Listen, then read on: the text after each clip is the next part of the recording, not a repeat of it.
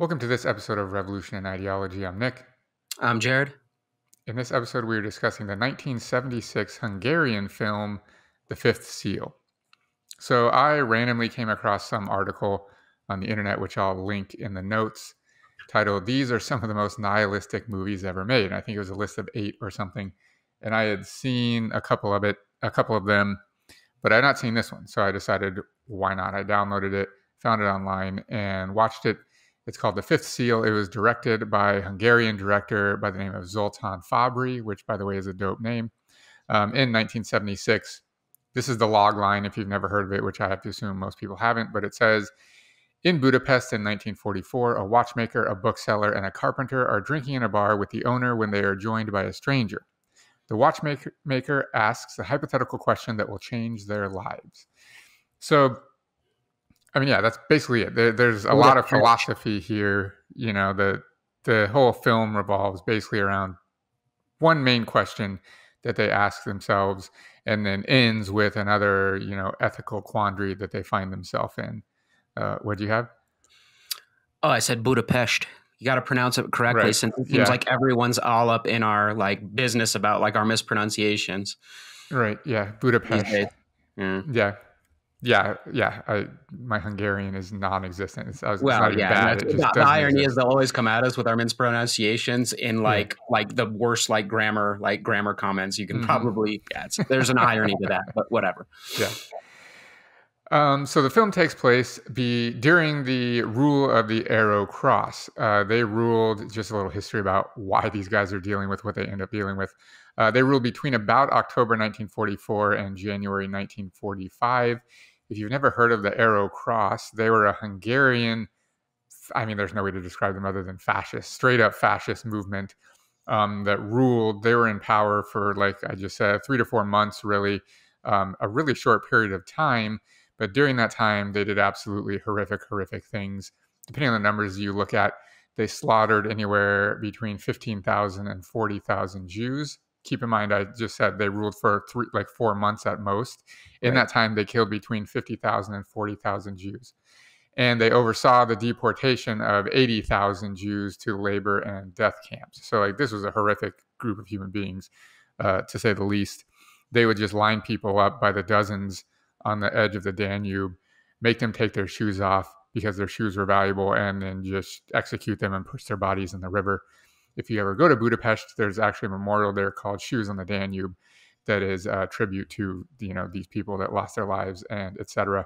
Uh, they were eventually defeated once the Red Army reached Budapest uh, in the Battle of Budapest in January of 1945.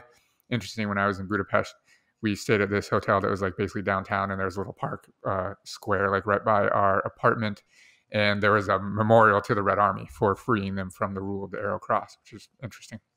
So, the film takes place in Budapest during this time, and it starts out like the log line says: is four friends sitting around in a bar, uh, drinking and talking.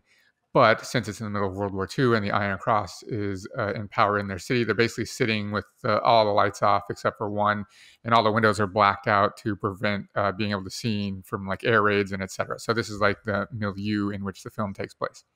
Um, and so there's four people uh, bar owner, a carpenter, and the book salesman, and a watchmaker. Plus, then uh, eventually walks in this photographer who is wounded. He has just returned from the front lines of the war. So they talk for a while. Uh, Jared's main complaint that he told me about yesterday was that uh, it's much too long of them sitting in a bar talking, but you know, whatever it is, what it is. Um, and eventually, the watchmaker poses a philosophical question to the group, and this is what leads. Uh, you know, it's really the engine of what keeps the movie going. Um, and so this is his like hypothetical situation. He says that there is a monarch named Tomo Kudsatatiki. I'm never going to pronounce that again, so we'll just say like Tatiki for this like ruler of this just, island. Yeah, or just say the monarch is what my plan was. Yeah, I'm yeah, me gonna, too. The I'm rest of my notes say monarch because I'm yeah, I'm not yeah, going to recreate that. Not even going to try. Yeah. Anyway, this guy he rules an island and he has a slave named Gyugyu. The slave suffers many traumas at the hands of the monarch, to like put it uh, lightly, I guess. So the watchmaker is telling this story that his tongue was cut out. His teenage daughter was taken from him and given to the monarch as a present, and the monarch ends up killing her. His teenage uh, son, I guess not teenage, but his slave son was taken and given to a different lord. So both of his children are taken away by this monarch. The nose of his wife gets cut off as punishment to the slave. One of the slaves' eyes was cut out at one point, etc. So this is all the story the watchmaker is telling him to his friends. This monarch is like a, an atrocious human being who uh, owns this slave and treats him poorly. Obviously, the slave consoles himself every night by telling himself that his life was better than the monarch's because he was not the one that was committing these atrocities, right? These crimes against uh, other humans. And so his con- conscience is clear. He has a clear conscience and believes that his existence is the best because he's not the ones committing one committing these atrocities. And so it's important to point out that his conscience is actually clear, but it's not that he's just telling him himself to like justify his life. He truly like believes this, right? The monarch also has a clear conscience because he genuinely believes that he is following the morals of the time. He genuinely believes that he is doing nothing wrong. So he doesn't believe that his actions are wrong. He, there's no like ethical quandary that he has in his mind. The way that he's treating the slave is completely justified. So both of these men, the monarch and the slave, have clear consciences.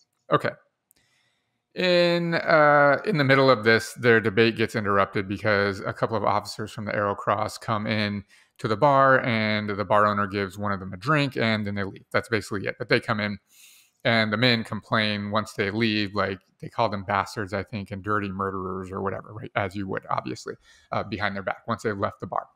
Uh, that's only important for a plot point uh, in a few minutes. So, as they're getting ready to leave for the night, they're packing up, putting their coats on um, the photographer says, you know, I can. Oh, sorry, I forgot to pose the question. The watchmaker's question is, yeah, if you're going part. to be reincarnated, yeah, this is kind of important. If you're going to be reincarnated as either the monarch or the slave with zero memory of your current life, which would you choose?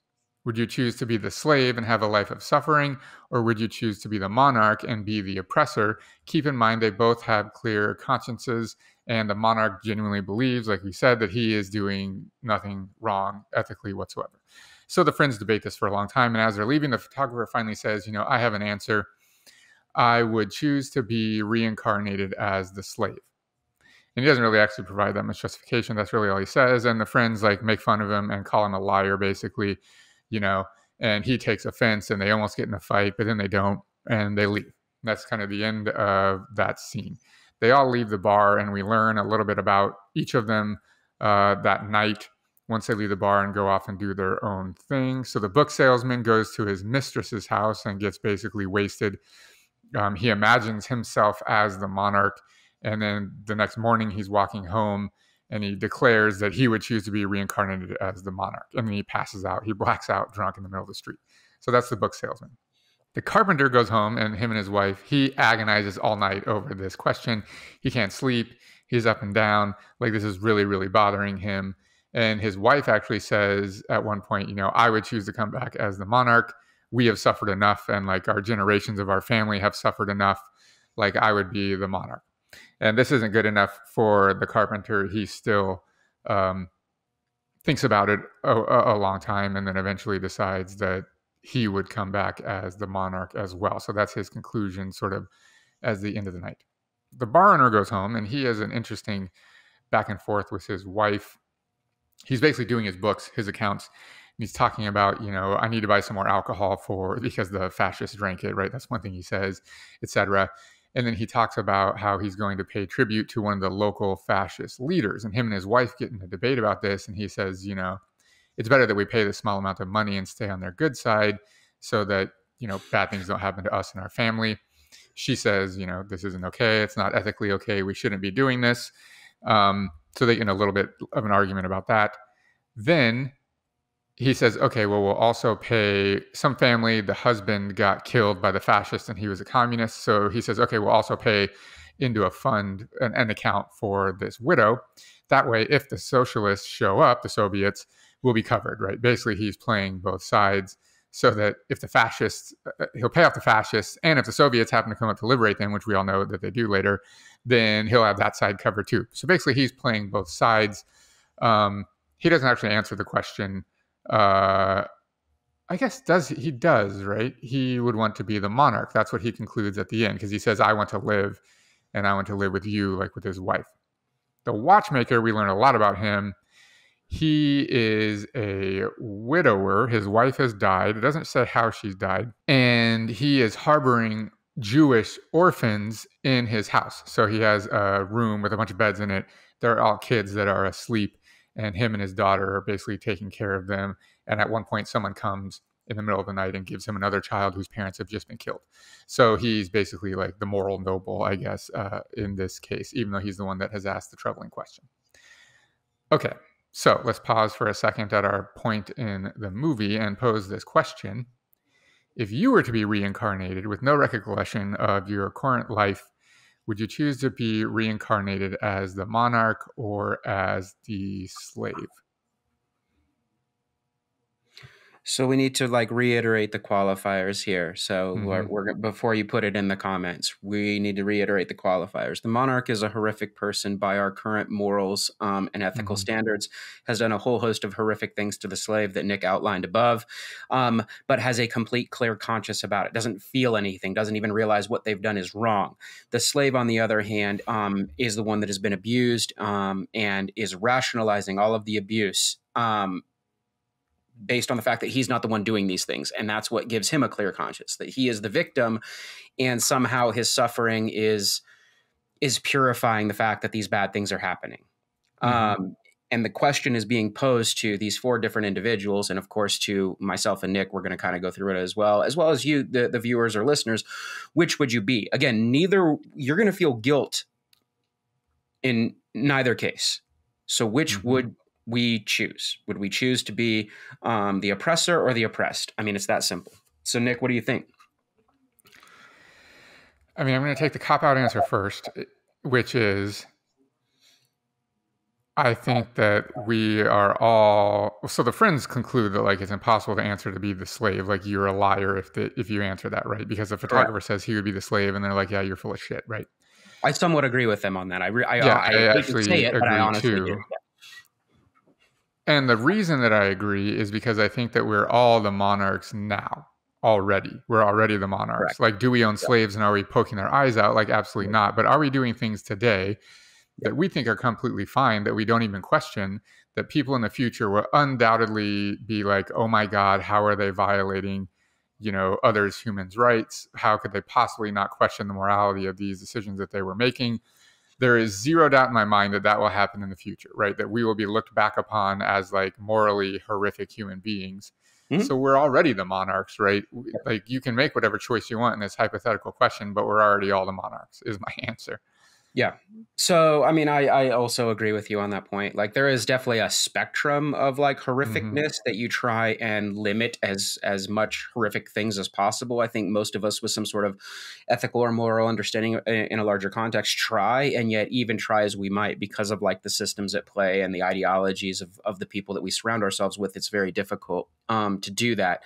I struggle with it every day. I can't go to the store and buy a pair of jeans without thinking about like, oh my mm-hmm. god, like I've just like at some point in the chain in the production of these jeans, someone is suffering because mm-hmm. uh, apparently four pair of jeans is not enough. I need five, right? Like so, like right. it's somewhere along the line there is suffering, and there's and it, it reminds me a little bit of that stupid show, um, uh, The Good Life or the good mm-hmm. place, excuse me, the good place, the good place, mm-hmm. where the ultimate conclusion after all of these seasons of the show is that, like, I mean, I guess it's not the ultimate conclusion, but it's about halfway through the show that they realize that like everybody is being sent to hell or the bad place because in modern society there is no matter what choice you make it is a bad choice through mm-hmm. your consumption habits through the way you live your life so that's just i mean we're the monarch we are the monarch um, if you haven't watched The Good Place, Jared just spoiled the entire show for you. So sorry about that. If you haven't watched this, The Good Place at this point, um, and it's not even like that amazing a show, so don't waste your time. I yeah, I spoiled it for you, so you don't have to watch hours upon hours of uh, you know I mean, it's it's okay. Ted Danson's funny. Um, we're way off topic here. Let's get back to the, the question here. so to go to corroborate what you're saying, I too, unfortunately, even though I try and limit like the, the bad choices I make, you know, I don't eat meat, and you know, I try and only like buy used products and things like that. Still, somewhere along the line, I mean, I was just talking about. It. I got in my car and I wasted a bunch of gas to get mm-hmm. here. I mm-hmm. could have walked here. You know, all of these things, right? So um, yep. I probably, unfortunately, would choose the, the, monarch as well. The other thing that I wanted to add to this, real quick, before we move on, um, and you look at it from the slave perspective, which is, I assume, where you're going next, but is um, the idea, and this is where I come off a little bit strong, especially as, as a history um, instructor and researcher, is that I actually do firmly believe in somewhat of moral and ethical absolutes when it comes to certain topics. I'm a little wishy washy on it, but the specific examples used in this of cutting off noses and um, killing daughters after I assume they were sexually assaulted, I actually believe that there is no context in history, no ideological, no material context in which you could actually have a clear conscience about that. So I do like I do want to push back on that because here's the thing: I will fillet in a U.S. So yeah, I knew you were going to say that, right? Because yeah. it's an escape. It's escape from the question, but it doesn't matter because the watchmaker says, right? Part of the, the equation is that he does not believe, legitimately does not believe that he is violating any morals and he has a purely clear conscience. So, like, yes, we want the escape of, like, I can't believe that. I have to believe that he thinks what he's doing is wrong. But that's not how the watchmaker poses the question.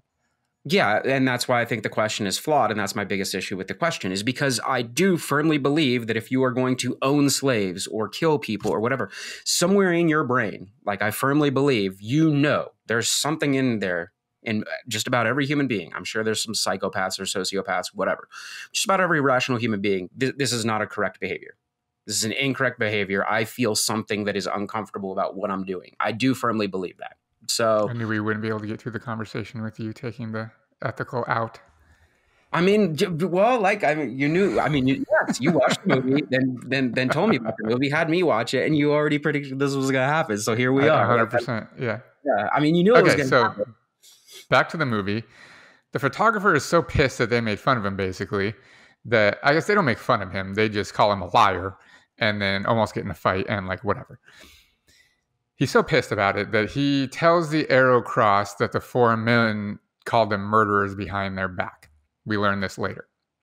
So the next night, the four men, are, uh, their friends, are back at the bar, and all of a sudden, the Arrow Cross comes in with more officers this time and arrests them all, apprehends all four of the men.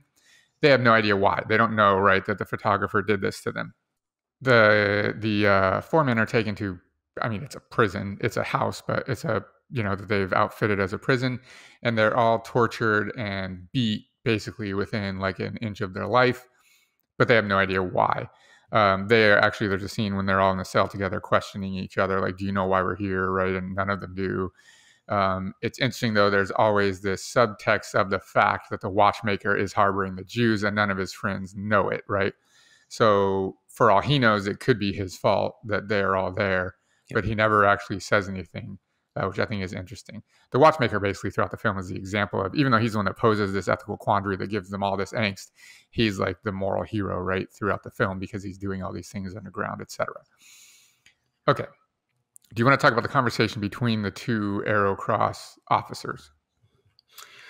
I mean, I posed it to you um, electronically outside of our, our scripted notes here, uh, mm-hmm. just because I thought it was somewhat interesting. I mean, I can I can raise the question real fast and see what you think of it. It might not yeah. be consequential to the moral quandary we find ourselves in. Mm-hmm. So there is obviously a higher ranking and a lower ranking Arrow Cross um, officers, right? They're these fascists, and the lower ranking one just wants to kill these four um, individuals and and and be done with the thing, uh, be done with the process, and go find more people to kill and murder and so on and so forth.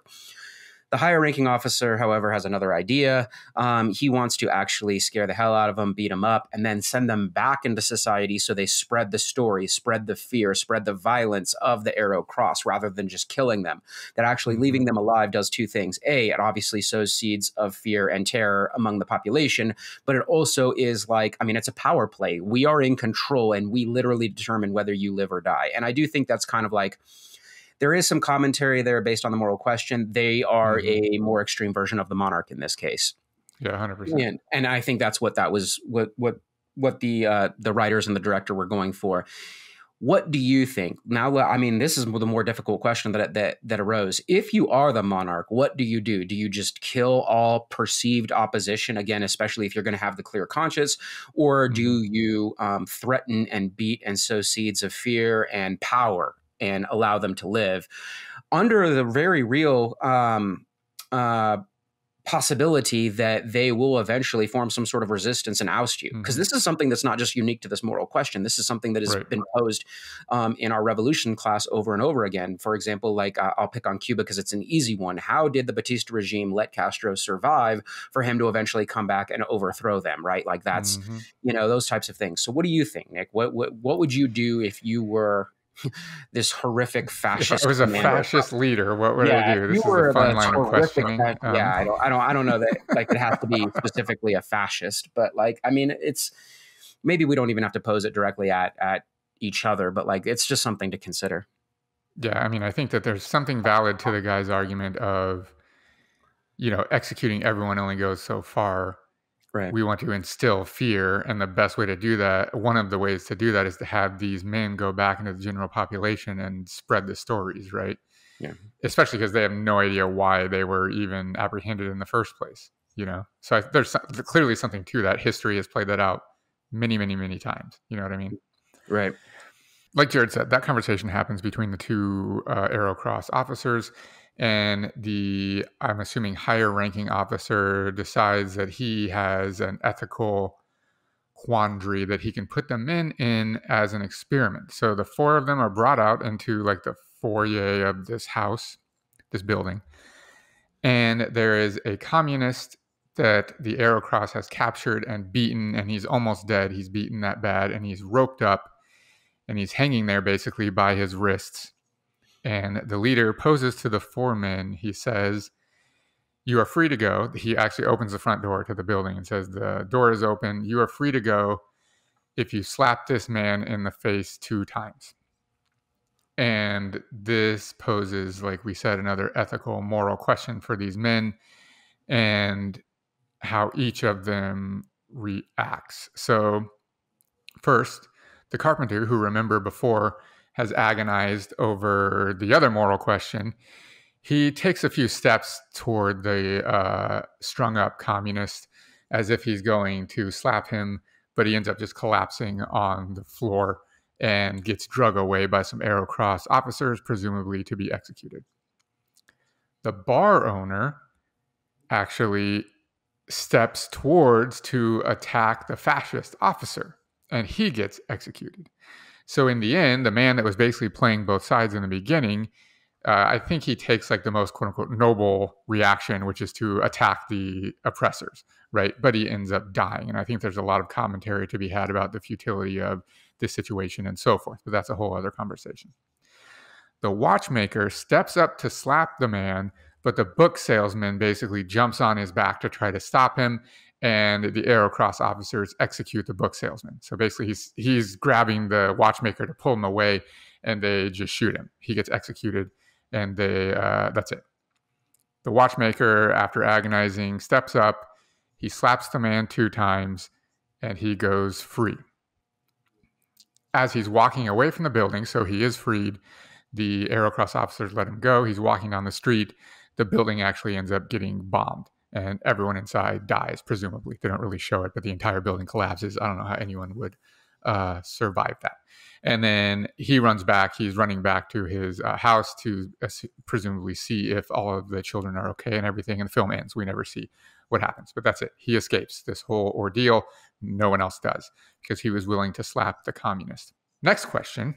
If the communist was sure to die, and we have every reason to believe that he was in this case, and you were sure to die if you didn't slap the communist, and we have every reason to believe that you would in this case, would you slap the communist?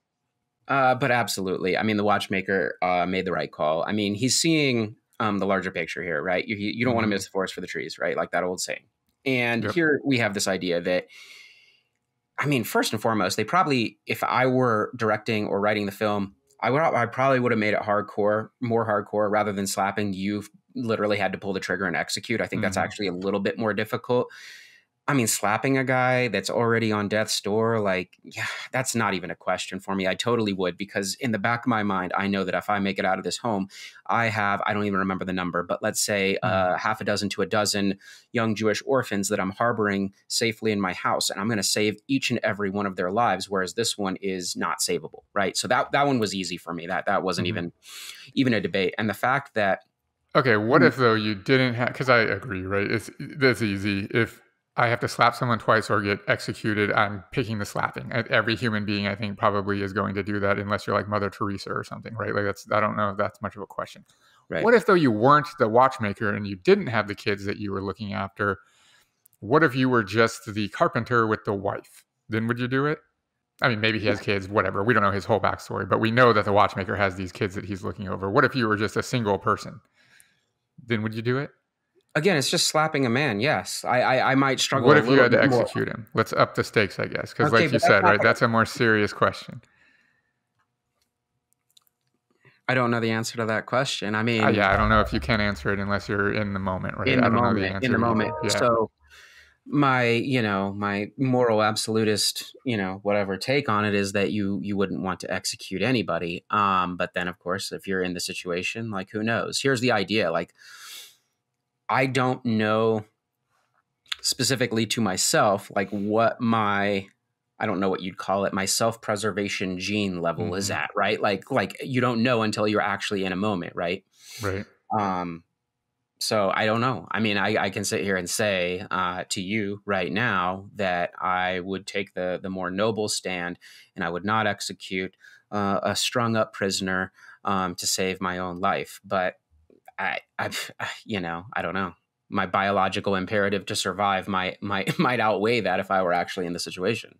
Right. Yeah, hundred percent agree. I think slapping is easy, right? I think everyone would do that, but so the unfortunate part for me, I think, is that it probably would. I probably would rather survive. I think we all have that kind of like self preservation mm-hmm. thing. The reason I didn't like this part though of the film is because it's actually it's not it's different. It's a very different moral moral quandary than the first one. Because here's the mm-hmm. thing: like the monarch and the slave um, metaphor, the monarch's life is never in danger. This isn't about self preservation whatsoever, whereas this mm-hmm. other one is. So I don't think this is very apples and oranges. I mean, I think it's about oppression, though, right? That's the right. main point. And the four men are faced with a decision to become the oppressor in order to be free, right? But it's a very yeah i mean it is oppressor and oppression but again that now we're on that spectrum again and in this case mm-hmm. the spectrum of slapping somebody is not the same as killing daughters and cutting off noses and whatnot so I, but I there is actually a huge difference between the the monarch and the slave and then this final situation because they know that slapping him is wrong right it is a violation yeah. of their morals and so they have to decide whether to violate their morals knowingly in order for to be free themselves or not right? In that regard it has like more consequence i think. Well and then of course the nihilistic part of the film like is that none of this ever even mattered because mm-hmm. moments later everybody's dead. Right. And i think the other point is that neither answer is right or wrong right? Yeah. whether you slap the guy or don't slap the guy th- there's no yes or no right? It's not a right or wrong absolute most many people would sympathize with you if you slapped the the prisoner to be free. And many people would say how dare you oppress that man who's done you no wrong right? There's no right or wrong. So i mean yeah i mean this is a little milgram experimenty or stanford prison mm-hmm. experimenty like like that's kind of the effect we're going for here. Um at least that's what i assume they're going for here whether or not they, they, they either of those experiments i don't remember when when Milgram experiment was long since already mm-hmm. done, but I don't remember when the Stanford Prison experiment was was done. It's got to be in the seventies, maybe. Yeah, I don't. It was remember. in the seventies. I don't remember if it was early or late, but this was seventy six. Right. So yeah. So I, and but even those those situations, I think, are are just a little bit different. I mean, again, mm-hmm. I think it's it's it's based on the spectrum of what type of oppression and what type of violence you're willing to exert. So right. anyway, all right. Well, let us know if you've seen the film. If you haven't, I highly suggest you check it out. It was pretty good. Uh, let us know what you would do in each of those situations uh, in the comments. I'm Nick. I'm Jared. Later.